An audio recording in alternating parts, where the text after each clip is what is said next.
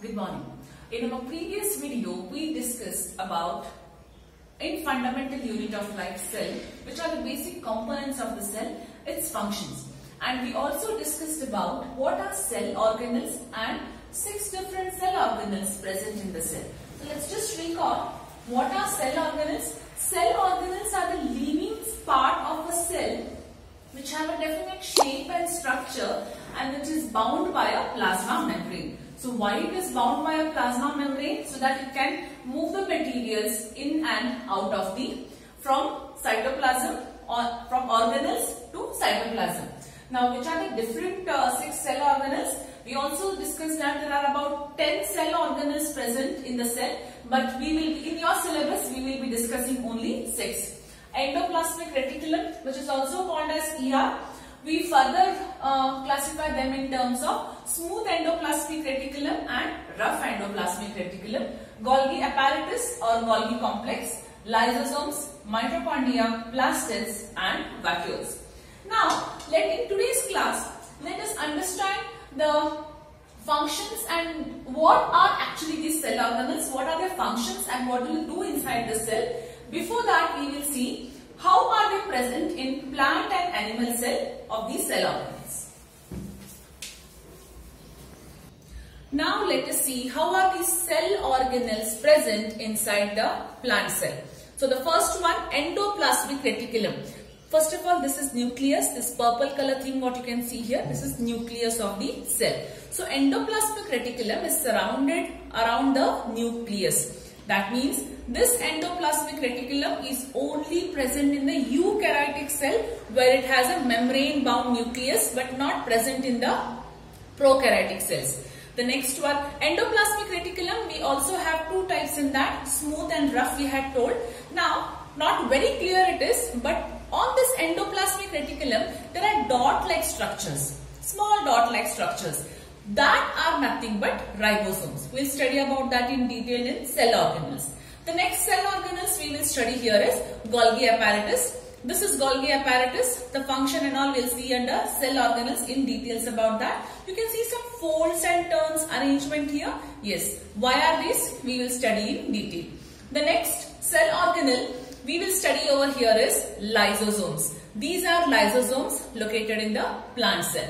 The next one is mitochondria. So this is mitochondria in the cell. Not only one, you can see several many mitochondria here. There are several many, but we are only locating one. The next is plastid, but here we have denoted that as a chloroplast. You will study in detail why we have denoted this as a chloroplast. You can see 1, 2, 3, 4. We have drawn only 4 but there are many chloroplasts present in the cell. So the last one is a vacuole. This is a vacuole. Can you see the vacuole size of the vacuole here? Yes. The size of the vacuole is quite big. It depends on a plant to plant, on different things to different things, like how big the vacuole is. So these are the cell organelles, how they are present in the plant cell. Now let us see how these cell organelles are present in animal cell. So how are the cell organelles present in the animal cell? Now if you can locate the cell organelles which we discussed in plant cell and animal cell are the same cell organelles present over here. Let us just see. The first cell organelle which we discussed about endoplasmic reticulum, yes we have. It has been written as smooth endoplasmic reticulum and rough endoplasmic reticulum similarly surrounded around the nucleus here. The next cell organelles which we discussed was Golgi body or Golgi apparatus, yes present also in the animal cell. The third cell organelle which we discussed was lysosomes also present in the animal cell. The fourth cell organelle which we discussed was mitochondria. Yes, it is also present in the animal cell. Yes. The next one we discussed about plastids that was chloroplast. Is it present in the animal cell? No, it is not present in the animal cell because main function of a plastid is for preparation of the food, the green pigment, chlorophyll, right? Okay, so plastids are the only cell organelle which is absent in the animal cell. The last one which we discussed was vacuoles. Can you see vacuoles here? No, there are no vacuoles present in the animal cell because vacuoles, even if they are present, they are very small in size, negligible size. So vacuoles and plastids are absent in animal cell. But apart from that, can you see something else which is present? Yes, that is centrosome. We will discuss about the centrosome in our last class. That is about how the cell division takes place. It is nothing but which carries DNA materials, right? So this is about plant and animal cell. Now let us have a comparison of plant and animal cell. So this is a comparison between a plant cell and an animal cell. Let us just see here. Let us just see the size and how it is present. Now the remaining things are same over here which are those endoplasmic reticulum, Golgi apparatus or Golgi bodies or lysosomes, mitochondria. The only thing is over here when we discussed in plant cell we had chloroplast but here chloroplast is absent. Now comes about the vacuoles. Now can you see this is a vacuole in plant cell. What is the size? It is very big, right? Now can you locate vacuole in animal cell? Yes, we do locate a vacuole in animal cell but it is in negligible size. It is in very small size. Why is that? We will see during the when we study about functions of these cell organelles that is functions of these vacuoles. So this is a comparison difference between can be asked in this. Labeled diagram can be asked on this. So this is about plant cell and animal cell. Now let us move further and discuss about each functions of a cell organelle of a cell.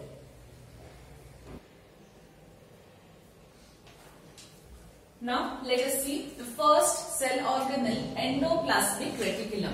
What do you mean by reticulum? Reticulum is nothing but network network of what? Membranes. So how do we define endoplasmic reticulum? Endoplasmic reticulum is defined as what you can see is a large network of membranes found in eukaryotic organisms. Now when we check with this, there are two types of endoplasmic reticulum. We also write this as ER. So that is rough endoplasmic reticulum and the next is smooth endoplasmic reticulum. We also term it as RER and SER. Now why the name rough endoplasmic reticulum? The name rough endoplasmic reticulum is when we saw the endoplasmic reticulum which was surrounded in this form it was there. There were small what do you say granule kind of things right on the surface of endoplasmic reticulum. Those are nothing but ribosomes. So the name rough endoplasmic reticulum because it helps in the synthesis of ribosomes. And rough endoplasmic reticulum is made up of vesicles. Now, in simple terms, if I have to understand what are vesicles, vesicles are nothing but blisters type of things. Okay. Next, we go on to smooth endoplasmic reticulum. Smooth endoplasmic reticulum are made up of tubules. Now what are tubules? Tubules, the name itself tells us it is made up of tube-like structures. It helps in the synthesis of proteins, lipids and fats. So what are the functions of these endoplasmic reticulum? The main function of endoplasmic reticulum is in the synthesis of proteins, fats, lipids and it will help in storing these fats. The next one, it also helps in detoxification in the cell. Now, what do you mean by detoxification? It helps in removing the poisonous materials which is present in the cell. When there is a movement in and outside of the cell, some poisonous material if it is there in the cell, it helps in the removal of detoxination present in the cell. And the next one, it also helps in making the cell membrane. How? So, with the help of lipids and uh, proteins, it can build up the cell membrane. What is cell membrane? Plasma membrane. So, the process of uh, building up a cell membrane using the lipids and proteins is known as biogenesis. So, this is about endoplasmic reticulum in brief, its structure and function. The next cell organelle we will study here is Golgi apparatus. Golgi apparatus or it is also known as Golgi complex. Okay. How is Golgi apparatus made or how does the Golgi apparatus looks? Golgi apparatus is basically made, made out of a membrane of tubules and vesicles which are uh, located in terms of a parallel stacks called as cisterns. Cisterns is nothing but like this, something a line kind of a thing, a parallel line, a folds what you can see here. That is about Golgi apparatus. What does this Golgi apparatus do? Golgi apparatus what you can say is, in simple terms, it does the business of import and export. Import and export means it helps in transport of materials. Which materials? The materials which are synthesized by endoplasmic reticulum. What materials? Proteins, fats, lipids, etc what all these materials are prepared by ER, that is endoplasmic reticulum, Golgi apparatus help them in the transport material in the cell. And the next important thing is it also helps in the formation of lysosomes. So what are lysosomes? We'll see in the next part. The third one is lysosomes. What are lysosomes? Lysosomes are the tiny granules in the cell which contains digestive enzymes. Now when I talk about digestive enzymes, what are these? Digestive enzymes, what are enzymes by the way? Enzymes are the biocatalyst. What do you mean by biocatalyst? Biocatalyst is something which will help in speeding up the reaction. Right? You have in detail about this enzymes in your 10th standard.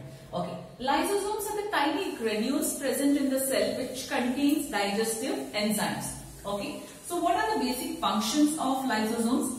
Lysosomes have certain digestive enzymes that means it can digest the intoxic material or it can digest any foreign particle present in the cell. That means it will help the cell from for example, if the cell is damaged or it is broken or it is dead, lysosomes helps in digesting the cell and or killing the cell sometimes or digesting the cell. Killing what type of cells? Good cells? No. Suppose if the cell is toxified or the cell is damaged. So it helps in killing the cell completely. Once it kills, it will also digest the cell.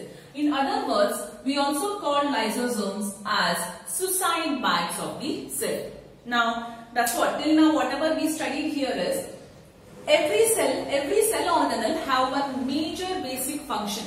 For example, when we talked about endoplasmic reticulum, protein synthesis of the cell, ribosomes, which are present on rough endoplasmic reticulum. Second one, Golgi apparatus, helps in transport material of the cell. Whatever materials are produced in endoplasmic reticulum, it packs and transports it as and when the cell requires. Lysosomes suicide bags of the cell. So each cell organelle have the basic major function which will help the whole cell to function. Then the next one here is mitochondria. Yes, you all know about this. We call mitochondria is known as powerhouse of the cell. We all know this, right? Yes, powerhouse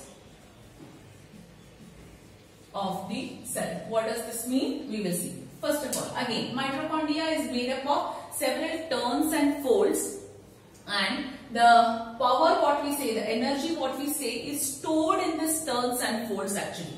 Why it is called as a powerhouse of the cell? Because now, for example, if you have a generator or something at a home, that provides us, you know, electricity where and when it is required, when there is no power. So, that is our powerhouse in our cell. Similarly, Mitochondria gives energy to the cell, the powerhouse of the cell.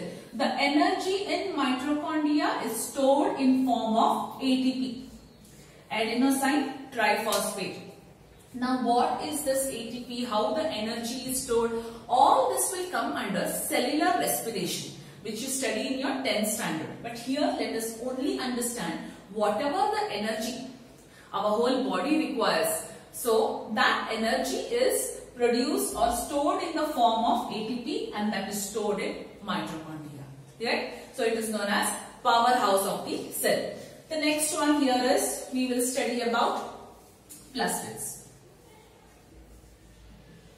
When we talk about plastids, we classify them in three types. One is chromoplast. This next is leucoplast And the last is, which we all know, chloroplast.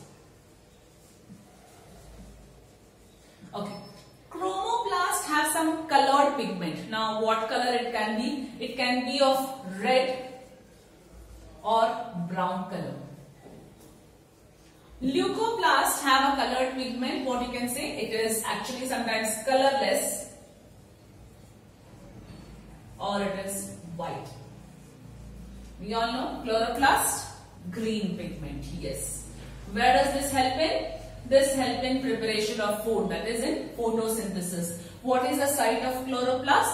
Green leaves are the main site of chloroplast which will help in photosynthesis. So actually here chromoplast and chromoplast helps in what you say these pigments helps in actually you can say sometimes preparation of the food or in the photosynthesis process but wherein leucoplast will not help in this process leucoplast will help in storage storage of what storage of starch fat glucose protein granules etc so this is about plastids plastids are only present in plant cell. It is absent in animal cell. Why? Because green plants are autotrophs. They can prepare their own food.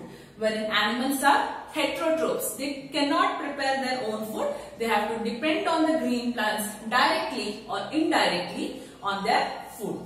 Now, the last one cell organelle here which is vacuoles. Now, what, what are vacuoles? We also, we also saw that in the comparison of plant and animal cell that vacuoles